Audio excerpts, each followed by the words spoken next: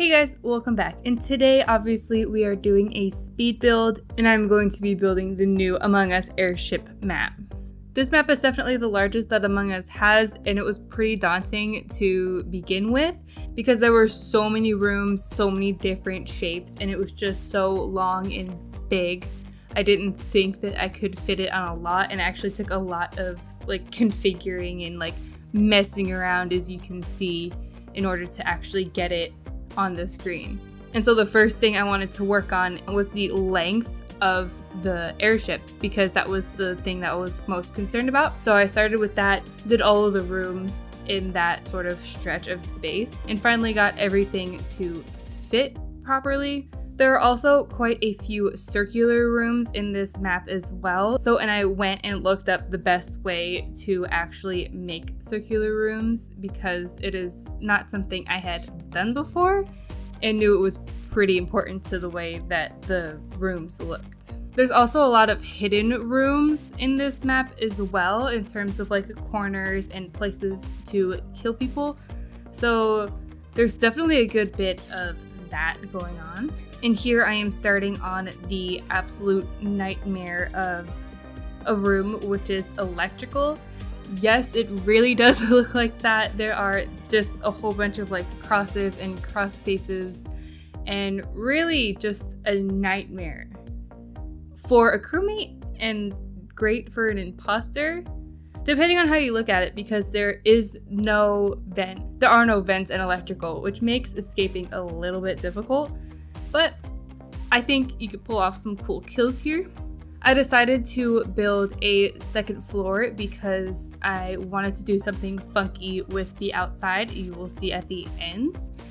And that required me to make everything on the second floor, and then I have all of the venting systems down on the main floor. And I'm making the cockpit, I think. There's also a lot of different like platforming and raised levels per room for quite a few of the rooms. So luckily The Sims added platforms so I was able to actually achieve this. But I never really used platforms, so it was something that it was more trial and error for me to actually do rather than go, oh, I know how to do this. But I think it came out well. All the platforms that I used this was the main room where I was just trying to figure out how to use the platforming. After this, I just took what I used off of this room and I applied it to the rest of the rooms. And then adding all of the little stations into the cockpit and of course all of the windows to look out.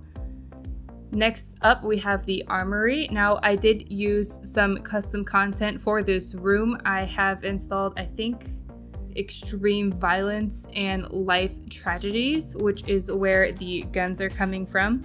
A lot of the guns are actually grenade launchers, which is why they look so weird and clunky. But I think they look well, I think they read well on the wall, which is why I chose them for the main part.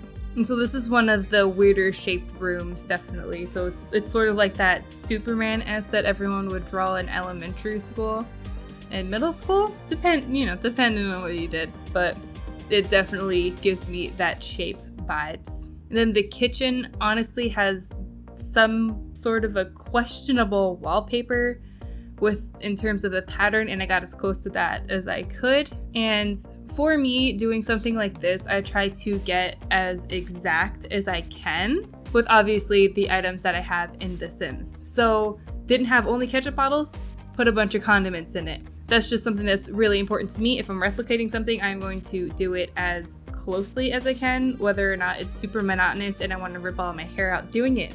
I don't know, I just like to drive myself crazy, I guess.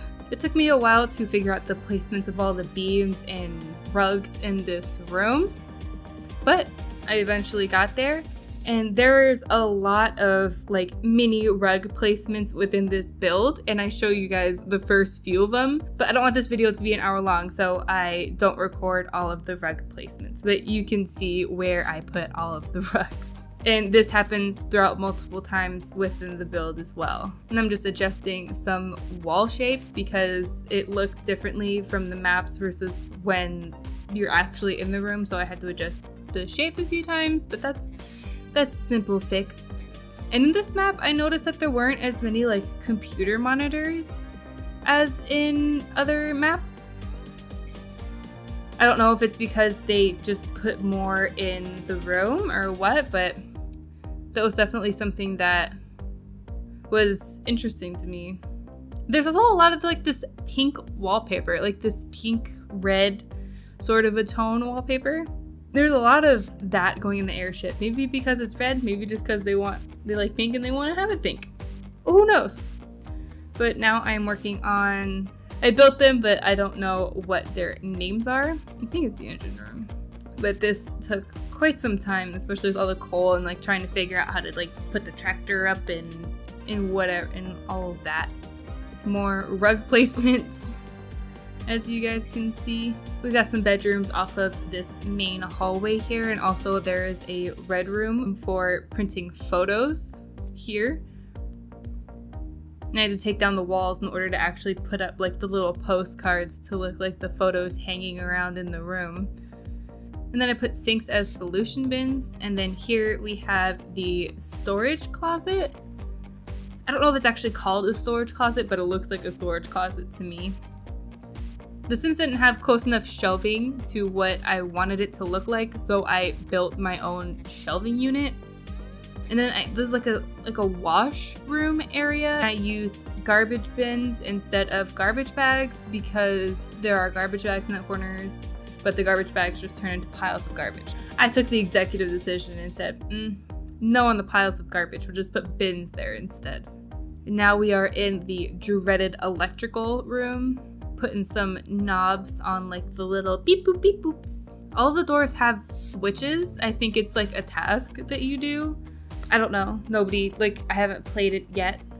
But they all have like these switches, and so I tried to resemble that as much as I could with like the I think it's um a fire alarm something like that. And when Among Us first came around around last year ago, I used to play a lot more, but I wish I still do, but I don't have that many people to play with and it's really I think a lot I think the most fun when you have 10 people. If not then it sort of like goes really quickly, but that's just me. That's just my opinion about that. And then this room took quite some time. I think it's called the Vault, trying to fix all of the platforms and everything. And yes, there are weird mannequins scattered around the room, and then just like piles of gold and like that one little corner right there. But I really think this room came out pretty much as close as I could. I think I I think a lot of these rooms are as close of a of a job that I could I, I really think this came out super well. Now I am working on the gap room. There's like a little, like a thing that scoots back and forth. Can't make it scoot back and forth, but I can make a hovering platform to emulate, if you will, the essence of what that room is supposed to be. Up the ladder, we have the emergency button and a little conference room area above fixing all the chairs so they're turned the right way. And now we are getting into Med Bay. It's very fancy looking, this one, I must admit. They have an x-ray and everything, and they even have a little waiting room, which is what this is. This little Med Bay's waiting room. Onto the library, which again has all of these little hidden compartments for hidden bodies. And then this lavender table was the closest thing I could find to like the pink table, and the same with the lounge room that I'm onto next. I don't have pool tables, so I used foosball, foosball tables instead. And I think that's a that's an equal balance. That's close enough to a pool table in my eyes. Get some turlets in there, and now we are on to the showers where I again painstakingly put all of the towels on the shelves. and then just scattered clothing and towels and benches everywhere. Had to mess with the room more and now put in some showers since this is the shower room. I think, I don't know if this is like a gap room or what, but there's another gap room that I'm messing with the heights with and mixed next to the cargo bay. And I am putting the patterning on the floor and again going in with the rugs and making it look the same. Adding some cargo, so it's an actual cargo bay, and then their cargo is strapped in. So instead I used like the fishing the fishing nets to make it look like it was strapped in. Little secret little secret tunnel over here with all of their hats that they're transporting. That's the only cargo that they have. It is very important, hence the safe. And some more hat cargo with some nets on it. And then last but not least, I believe, is the second like gap room, but there's no way to get from side to side, so it's just sort of there to say hi to people on the other side, I guess, if you play with proxy chat and just putting all of the vents and like units in. And this is the final airship that I came up with. It is hovering. I have these trees that make it look like the clouds. It's basically just an invisible foundation that's in debug, I think, hidden object, something like that, just to make it look like it's floating. It was a bitch to roof, but I got as close as I could, I think, to the top. Don't forget to subscribe. There might be a second Among Us video coming out with me using this map. Let me know what you think of this map and also if you used and played with this map and what you think of it. It will be on the gallery and my gallery ID is in the description box. But that is it for this video. Like this video if you like the map, I guess. And I will see you guys next time. Bye!